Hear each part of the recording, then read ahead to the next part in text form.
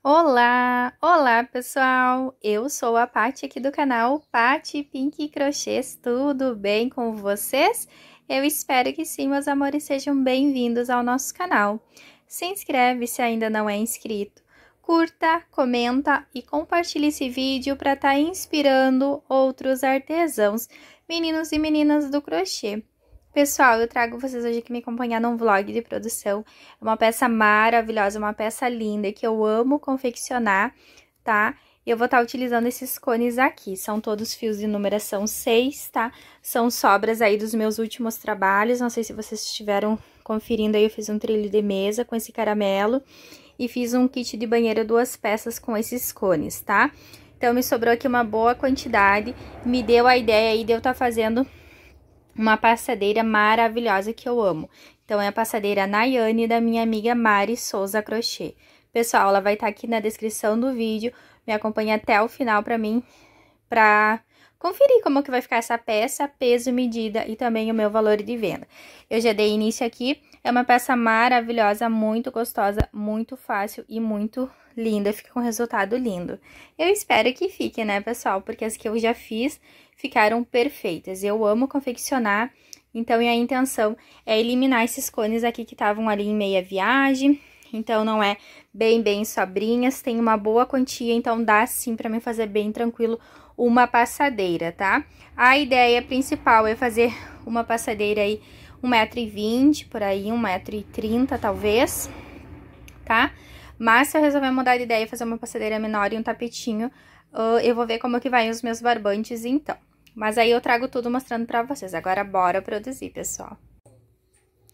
Pessoal, quero mostrar aqui pra vocês rapidinho o que sobrou então das sobras, das minhas sobras tá? Que eu já quero estar tá agregando ali a outros trabalhos, então quero guardar essas linhas e aí depois, né, vou saber certinho qual pra mostrar pra vocês. Então, essa aqui foi as sobras e eu já vou estar tá vindo aqui com o resultado da minha passadeira pra mostrar pra vocês, tá bom?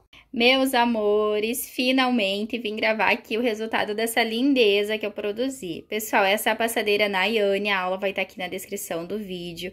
É passo a passo da minha amiga Mari Souza Crochê. Então, tá modificando um pouquinho o tom pra vocês. Eu vou ver se eu consigo aqui ficar mais longe. Aí, pessoal. Assim, olha só que linda que ficou. Já vou estar tá mostrando pra vocês, pessoal.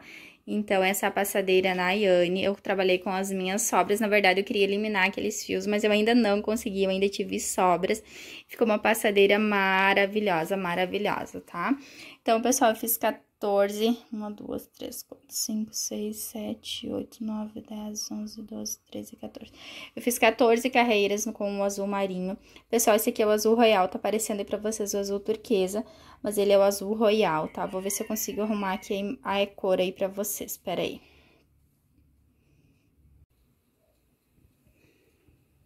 Assim, ainda não, não ficou, pessoal, tá? Tentei arrumar aqui, esse é, o, esse é o azul marinho e esse é o azul royal, pessoal. Aqui pra vocês aparece o turquesa, tá?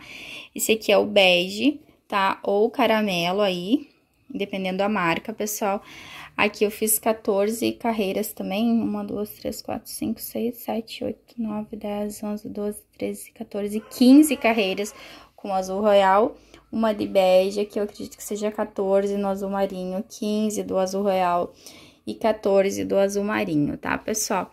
Trabalhei essa carreirinha aqui ao redor do bege, aí eu queria estar tá eliminando esse aqui, achei que ia quase conseguir, então utilizei o azul real aqui e finalizei aqui com duas carreirinhas em tom de bege.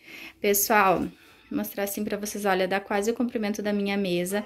Que peça maravilhosa, que peça linda tá? Ela tem um ótimo caimento, pessoal, tá? Porque ela tem essas carreiras aqui em sete pontos altos. Então, uma peça bem linda, bem gostosa. Ela fica bem grande. Ela, na verdade, ela ficou bem grande, tá, pessoal? Deixa eu ver se consigo mostrar pra vocês. Ela tá na minha mesa. Quase toma conta da mesa aí. Pessoal, a minha passadeira, ela ficou com 1,27m de comprimento por 51 centímetros de largura, tá? Olha só, deixa eu ver se consigo tirar uma foto. Não vou conseguir. Ai, meu Deus. Não consegui. Não sei o que, que houve, que eu não consegui tirar uma foto. Mas quem quiser printar, pessoal, fique à vontade aí, tá? Ficou maravilhosa. Já fiz ela em outras cores. Vou estar tá deixando os vlogs aqui pra vocês estarem se inspirando, pessoal. Essa é uma peça linda que eu fiz aí... Uh, a última produção que eu fiz dela, fiz toda coloridinha com sobras para estar tá utilizando bem os meus fios. E é uma peça que eu amo fazer. Sabe aquela passadeira que fica firme, que fica pesada, fica pesada mesmo. Tu coloca e fica lacradinha no chão, fica linda. É essa peça aqui. Pessoal, ela ficou com 1,27 por 51 e ela pesou 714 gramas. Como a minha finalidade era estar eliminando os fios, essa peça é perfeita para isso, tá? Aqui eu tinha mais quantidade, como eu mostrei no início do vídeo pra vocês. Também já mostrei as minhas sobras, porque eu gosto já de guardar, né? Porque nem sempre eu consigo gravar a peça aí no dia que eu finalizo. Normalmente eu concluo as minhas peças aí à noite, né? Como vocês sabem, eu trabalho fora, então durante a semana é noturno, então dá uma às sete, né, que eu trabalho, então chego em casa ali quase oito horas, até que tomo banho, faço minha comidinha, descanso um pouco, e aí depois eu vou produzir, né? Às vezes eu não consigo produzir, mas já falei isso em vários vídeos aqui pra vocês, né? Então, às vezes eu concluo as minhas peças à noite, às vezes é de manhã, mas aí já tá corrido, já tá na hora de preparar o almoço. Então, pessoal, eu demorei bastante pra estar tá mostrando essa peça pra vocês e já fiz aí alguns dias, já tá concluída. Já fiz dois jogos de banheiro maravilhosos, já tem vídeo aqui no canal, então dá uma olhadinha aí no canal também agora na finaleira, aproveitando, eu quero ver se eu consigo gravar aí uns kits semaninha que eu fiz. Na verdade, uma produção de barradinhos que eu fiz, tá, pessoal? Então, eu tenho encomendas, sim, mas eu quero ter peças na minha pronta entrega, tá, pessoal? Ah, eu preciso gravar para vocês o meu, a minha nova aquisição para ateliê também. Meu Deus do céu, tenho muita coisa para mostrar para vocês. Só que, pessoal, eu preciso dar uma mais geral na casa para mim poder mostrar para vocês. Meus barbantes também, né? Porque queira ou não, sempre junta aquele pó, então vou ter que dar uma geralzinha ali antes de mostrar para vocês, tá bom? Uh, pessoal, então o vídeo de hoje era esse, essa passadeira linda, maravilhosa, muito gostosa de fazer. Você pode fazer em várias outras disposições de cores. Vou estar tá deixando aqui, então, o vlog que eu fiz com as sobrinhas para vocês se inspirarem, tá? Caso vocês tenham menos material, vocês podem estar tá fazendo em outros tamanhos também, tá, pessoal? Então, é uma peça maravilhosa, uma sequência muito gostosa de estar tá reproduzindo, tá? E aí, eu fiz em tons de azul com bege, né? Ai, que foi a minha... Queria estar tá utilizando aí as, os barbantes das produções, pessoal. Não quero mais estar tá juntando muita coisa. Então, vocês estão me acompanhando aí, né? Essa peça, me esqueci de falar antes, eu não sei se eu falei antes, vai também para minha hashtag Saga das Sobras, mostrando que a gente pode produzir outras peças também, né? Com aquelas sobrinhas um pouco maiores, né? A minha finalidade até era, pessoal, fazer um jogo de cozinha, ou tipo, mais um tapete pra porta, mas realmente eu acho que não, não seria possível com o que me sobrou de material, tá? E, gente, é difícil trabalhar só com as sobras, né? Mas a gente pode se surpreender com os resultados aí usando da nossa criatividade, né? Então, meus amores, esse aqui é mais um vídeo para hashtag Saga das Sobras com essa peça maravilhosa, com essa peça linda, né? A aula da minha amiga Mari Souza Não tô deixando vocês tonta, pessoal. Ai, me perdoa. Vocês sabem que eu me empolgo aqui, né? Então, tá aqui o meu caderno da minha colinha, tá? Porque senão eu não sei de cor, né, pessoal? Todos os pesos e medidas aí das minhas produções, tá? Meus amores, agradeço vocês que ficaram comigo aqui até o final do vídeo, vocês que assistem aos anúncios, que compartilham, pessoal. Se tu gosta de crochê, se tu sabe alguém que gosta de crochê, se tu quer fazer alguma encomenda, compartilha aí com a tua artesã que produz, tá?